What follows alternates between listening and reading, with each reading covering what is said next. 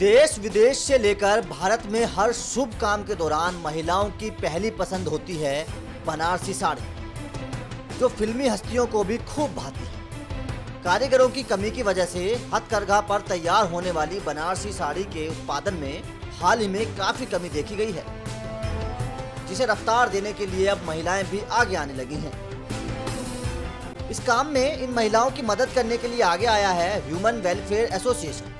जिसने करीब 16 युवतियों को बुनकर के लिए तैयार किया है और इन्हें रोज़गार दिलाने का काम किया है।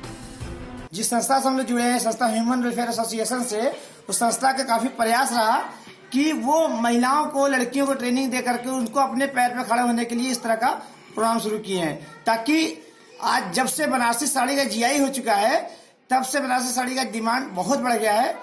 आज कारीगर नहीं मिल रहे हैं।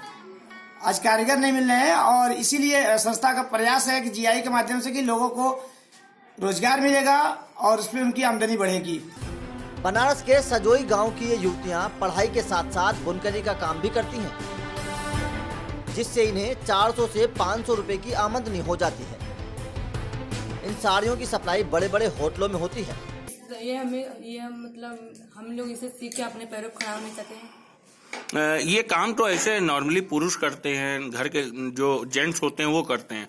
तुम क्यों कर रही हो उसको? हम लोग सीख रहे हैं मतलब कि आगे चलकर हम हम लोग को कभी काम आएगा अपने पैरों पर खड़े होंगे।